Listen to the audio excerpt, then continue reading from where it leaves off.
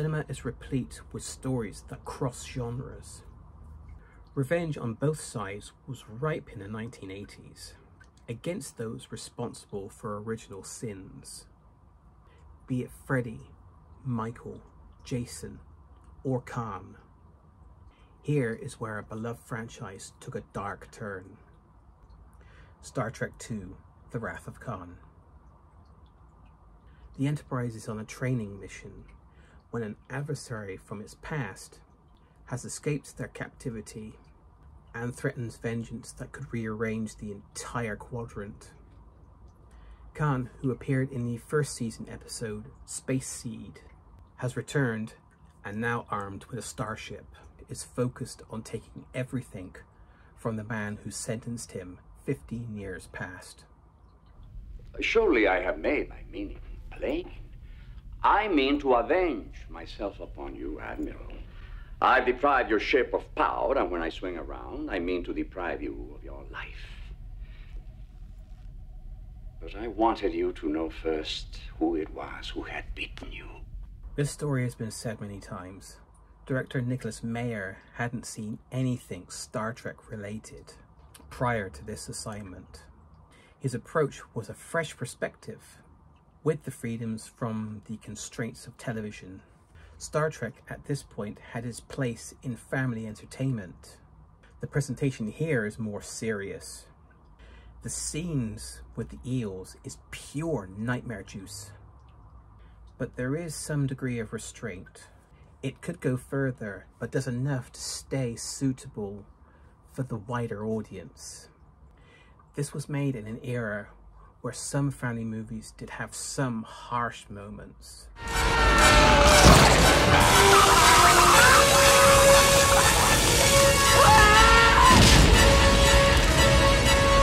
In 2022, I reviewed 2001 for this channel, a well-loved movie that had some important horror moments that influenced future stars and movies. They didn't have to be connected to the horror genre, but had enough of the elements of horror to be added, like a vengeful person, whether alone or with followers who would do anything for them. We've seen people like this in horror before, but since this is part of a big franchise, if you look at it in the horror context, if you strip it down to its bare bones, you can see the parallels. Michael Myers returned after 15 years and didn't care who stood in his way. Khan isn't exactly Michael, but the lengths he's willing to go. There is more than enough danger and suspense for it to qualify. We're seeing someone willing to kill anybody to get to this one person. I'll chase him round the moons of Nibia and round the Antares maelstrom and round perdition's flames before I give him up. The things that happen off the camera that are shared by Chekhov and Terrell. The scene where Khan believes he's got the upper hand on Kirk. The satisfaction in leaving Kirk in what could be considered a futuristic oubliette. I shall leave you as you left me, as you left her, marooned for all eternity in the center of a dead planet. Buried alive, buried alive. Come! Come!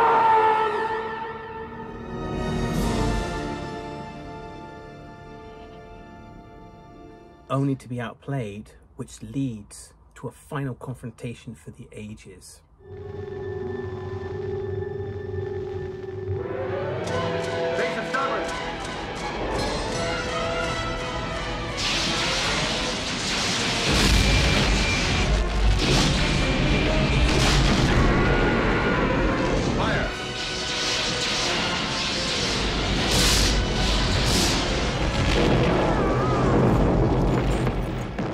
Scores make good movies better. Great scores make good movies legendary. There are many great movies where the scores aren't up to that level. One being The French Connection. Krull is an example where a great score can elevate a good movie. The late, great James Horner. You think of the many scenes that stick out in The Wrath of Khan. Someone will mention the score. The music, low yet with a harsh beat.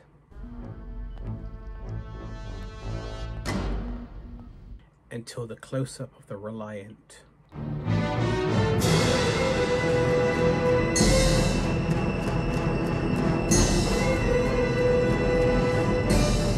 Slow to one half impulse power. Let's be friends. And the anticipation of what's coming builds as Khan takes revenge calmly waiting to strike. Ah, Kirk, my old friend. Do you know the Klingon proverb that tells us revenge is a dish that is best served cold? If you listen to the score, and like me, you'll hear the dialogue, it's almost as if the score was done first and then the scene was shot later and edited to match rather than the reverse and it relents till the end credits. This is one of those moments where all the elements come together. Fire!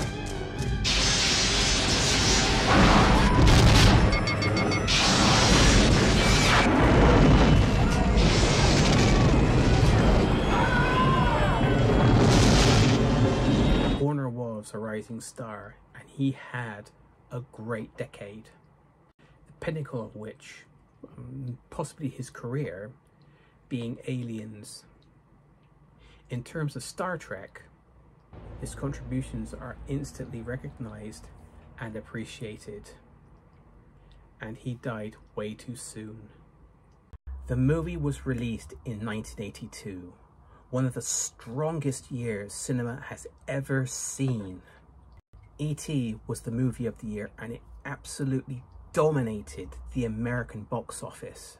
So many great movies released that year and none of them could do half as well financially. According to Wiki, The Wrath of Khan had the biggest weekend box office opening the United States had ever seen and made his budget several times over.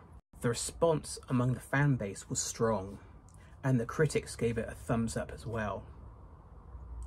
But what about those who didn't? Here's a one-star review from the IMDb. The Wrath of Tedium. This movie has it all. Long and repeated shots of spaceship models, tedious dialogue between wooden actors, ridiculous action sequences, absurd science. This was truly awful. The opening 30 minutes are among the worst ever released by a major studio.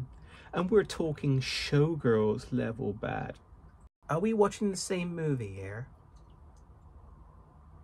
I found the only reason to hang on till the end was the hope something, anything, would save it.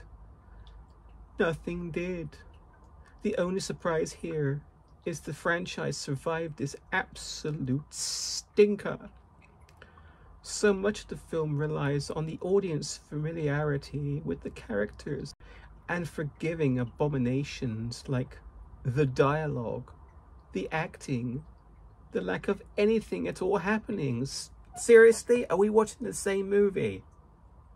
Star Trek IV had at least the interest of time travel and the prime directive on Earth to provide interest and even relatability plus a bit of an environmental theme.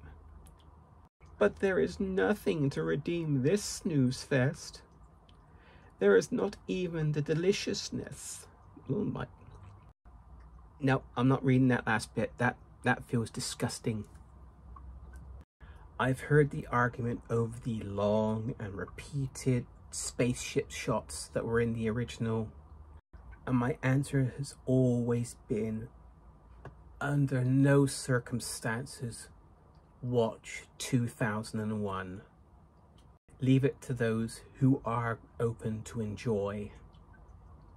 Of the 10 original movies, Star Trek II is the top of that list, and rightfully so. It's one of the best science fiction movies. And it does provide another reason that some sequels can surpass the originals. This is very unique in that it's the first of a trilogy. Genesis, a beginning, life, death, and rebirth. It goes full circle.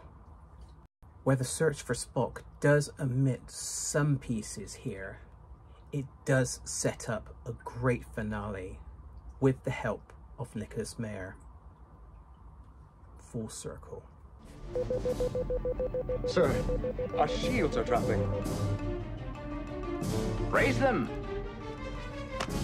I can't! Where's the override? The override! Fire. Fire!